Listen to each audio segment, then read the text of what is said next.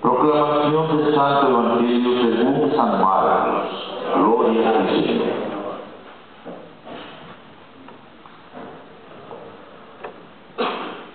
En aquel tiempo Jesús tomó aparte a Pedro, a Santiago y a Juan, subió con ellos a un monte alto y se transfiguró en su presencia.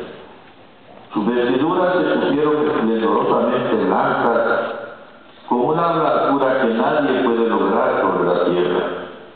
Después se y Moisés conversando con Jesús.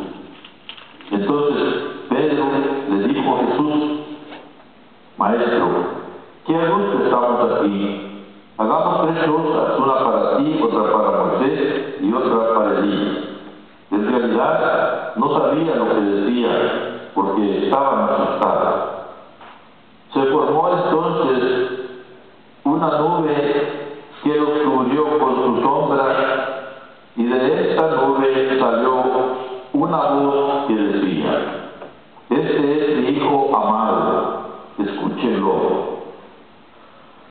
En ese momento miraron alrededor y no vieron a nadie sino a Jesús que estaba solo con ellos.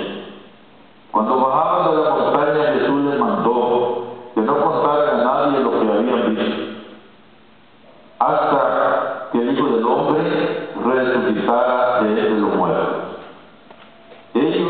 guardaron este secreto, pero discutían entre sí qué quería decir eso de resucitar de los muertos. Palabra